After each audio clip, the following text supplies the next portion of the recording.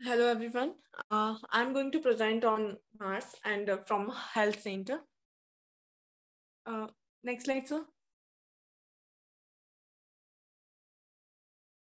These are some topics which uh, I will explain. Next slide.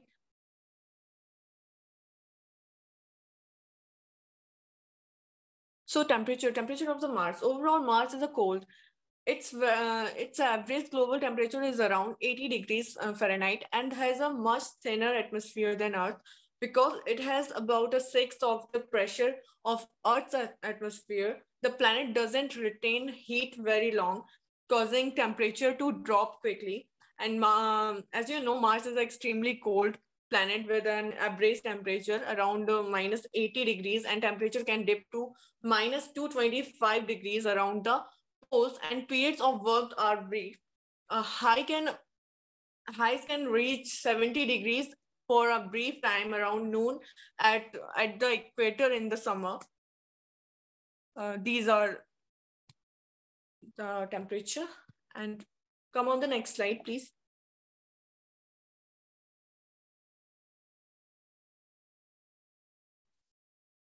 So mental condition. So feeling of isolation and uh, boredom, uh, the knowledge that Earth is so very far away and uh, long periods of uh, confinement are some of the mental issues researchers uh, uh, worry about for crew members. And um, astronauts stay mentally healthy in space. Uh, so how can? So astronauts on the ISS are given adequate sleep, healthy and good tasting food, exercise, and meaningful work, leisure time, and, uh, and the ability of social and recreational events like um, music, movies, contacts with family and friends, privacy and adequate space, and, uh, and a supportive ground team. Now, Next slide, please.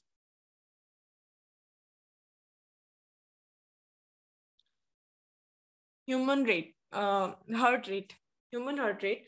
So human heart uh, heart uh, rate, uh, the cardiovascular system that uh, includes both the heart and blood vessels has uh, involved to operate the uh, operate in Earth's gravity while standing, sitting, or uh, laying down. Daily uh, daily physical activity while working or exercising against gravity keeps everything flowing smoothly. Come on the next slide.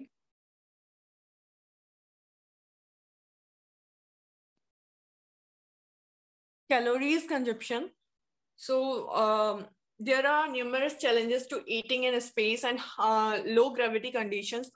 Not only the pr primary issues of getting the food from the package into astronaut's mouth, uh, there are many health con uh, considerations uh, over long periods in space muscles mass, uh, uh, muscles mass and uh, bone density can decrease by up, uh, by up to 20%. And um, this loss may not uh, hinder astronauts uh, while they while they are in orbit, but but their week their weekends uh, uh, weekend, uh, weekends bone can uh, prove fragile when uh, when they uh, when they return to earth increasing the risk of uh, fractures and um, exercise and food rich in in calcium like yogurt.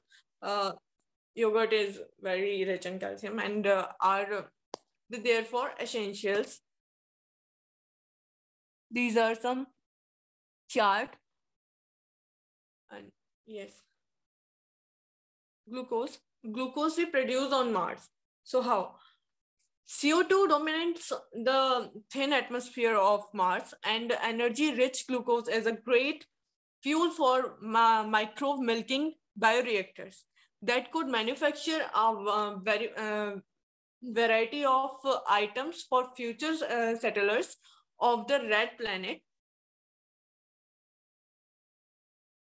Uh, next slide. On board the International Space Station, astronauts need to work out, uh, work out to maintain their bones density and um, uh, mu- muscle mass. Usually, exercising uh, two hours every single day throughout the week, and they exercise on three different pieces of uh, equipment, uh, like a bike and treadmill and um, uh, any others. Uh, the advanced uh, resistive exercise device. Next slide.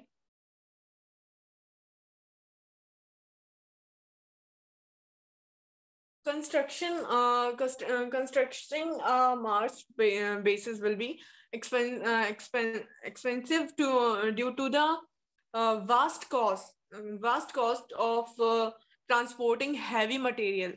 Uh, so, but uh, researchers have found one way to cut down uh, the price, mixing uh, uh, native planetary planetary soil with the astronauts' blood and astronauts' urine to make building sup- supplies. These are building supplies sample. Next slide.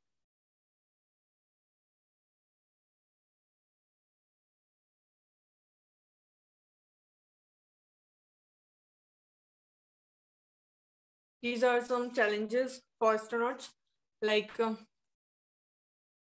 space sickness uh, on our tiny uh, resources in your brain give you uh, spatial awareness. They tell you when uh, when you when you tilt your head and um, or a chance uh, pos- uh, position, but it's different in a space in a space.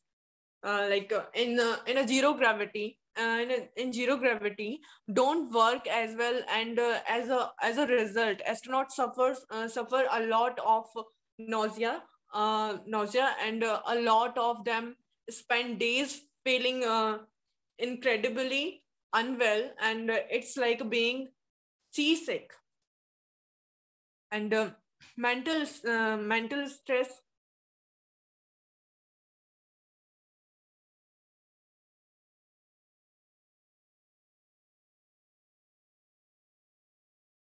so in, uh, uh, please uh, back to the previous slide.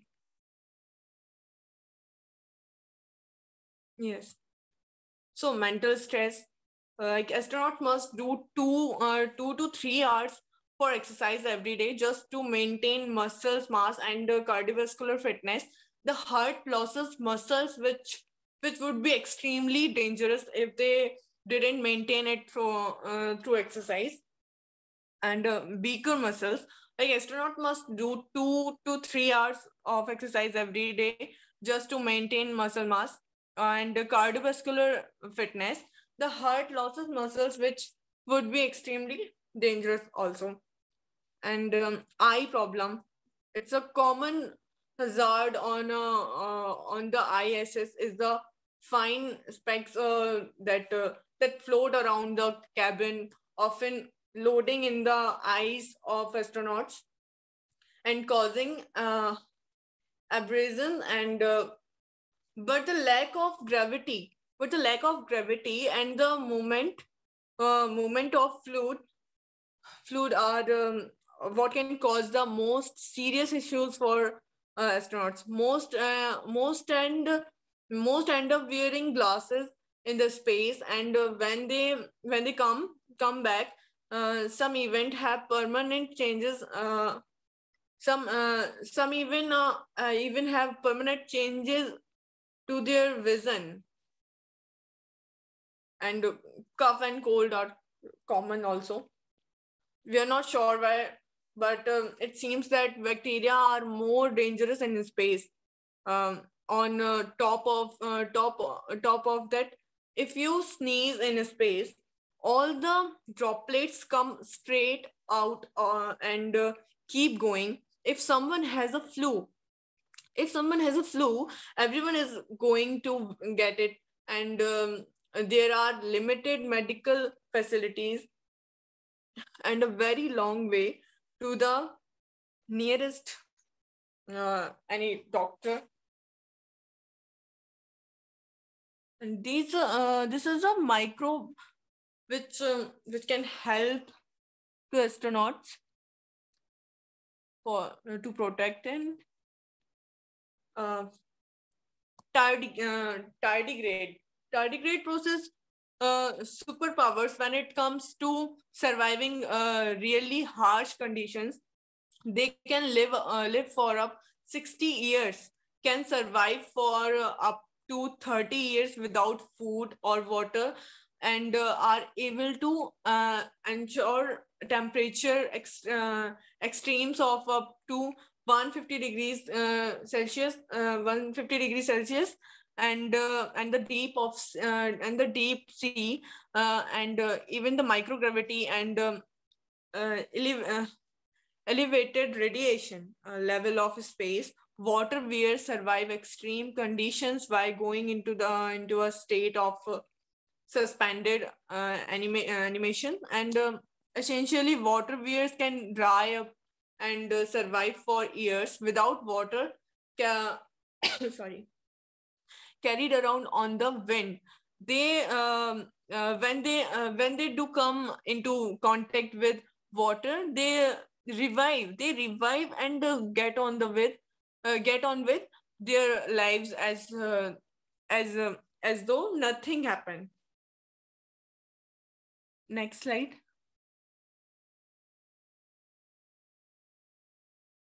so come on the next yes the key traits to human health and performance associated with space flight are radiation, uh, altered gravity fields, uh, hostile and uh, close environments, distance from Earth, and isolation and con- uh, confinement from these five hazards.